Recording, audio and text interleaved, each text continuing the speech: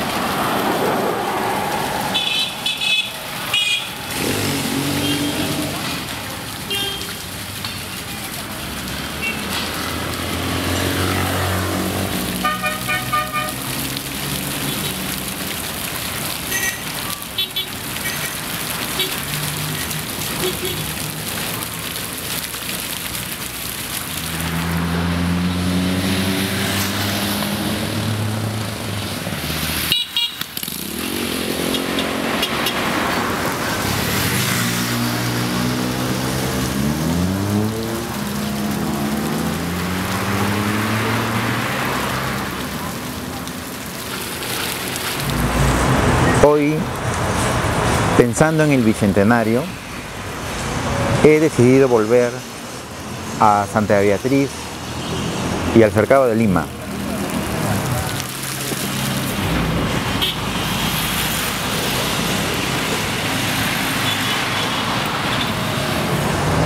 Volver a esta parte de la ciudad inevitablemente hace que se activen mis memorias familiares, las caminatas y sensaciones de mi niñez.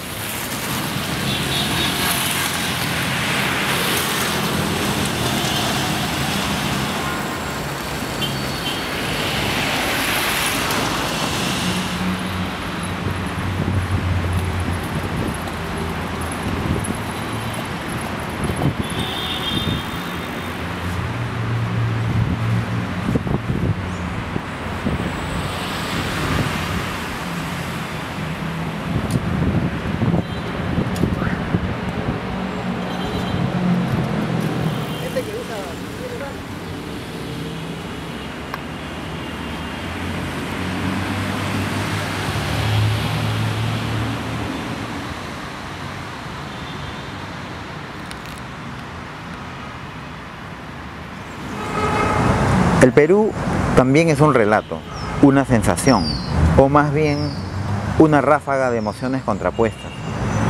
Tiene una diversidad de rostros e historias, cada una diferente según el lugar y el momento desde donde se narre.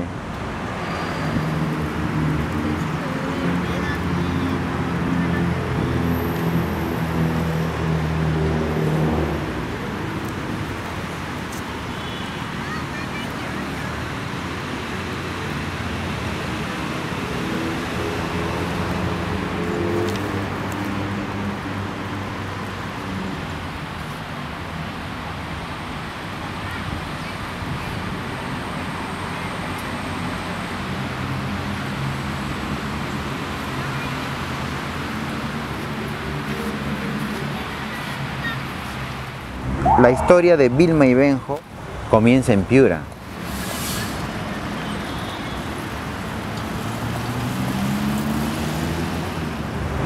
Benjo y su familia eran agricultores en Pelingará, un caserío al norte de Piura. A pesar de que Benjo no pudo ir al colegio, era un hombre con cierta sabiduría, quizá por su cercana relación con la naturaleza o, como dice Vilma, porque heredó esa sapiencia de mis abuelos. Mis memorias de Benjo son muy hermosas. Era un hombre sencillo, sereno y pausado. Muy dedicado a su familia y al trabajo. Le encantaba caminar y conversar. Su rostro era siempre cálido y sonriente, a pesar de que su cuerpo y sus manos tenían las marcas del trabajo intenso.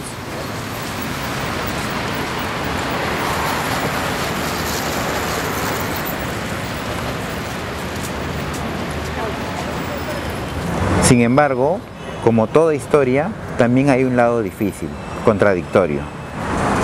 Benjo nunca terminó de adaptarse a Lima, o más bien, Lima nunca terminó de aceptar a Ben.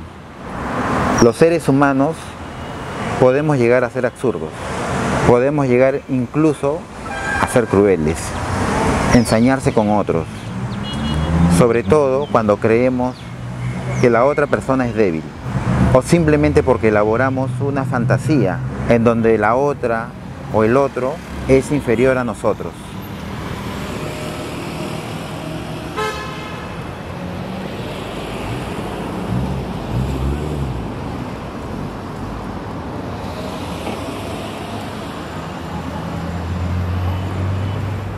Vilma llegó a Lima para trabajar en una casa en Santa Beatriz, en donde nos permitieron vivir. Por eso, aquí transcurrió nuestra vida familiar, contemplando cada domingo los parques, plazas, los monumentos de esta parte de la ciudad.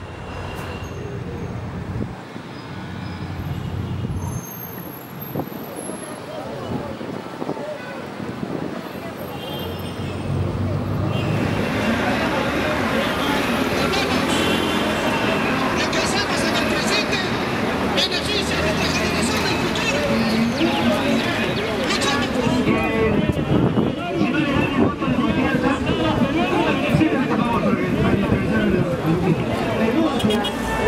Tiempo después, el orden de las cosas nos desplazó hasta uno de los conos, donde también habitaban muchos rostros e historias similares a las nuestras.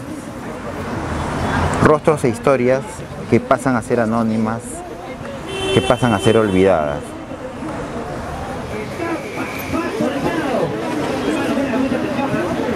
está facultado para disolver el Congreso si este hace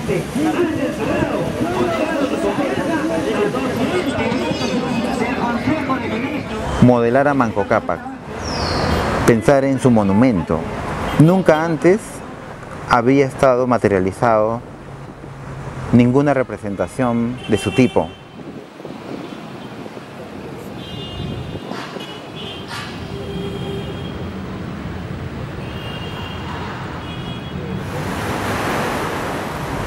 Su imagen cristalizaba una serie de inquietudes sociales y políticas sobre todo, que se venían dando a inicios del siglo XX. Las reivindicaciones de derechos para los indios, para los trabajadores, para los universitarios y para las mujeres.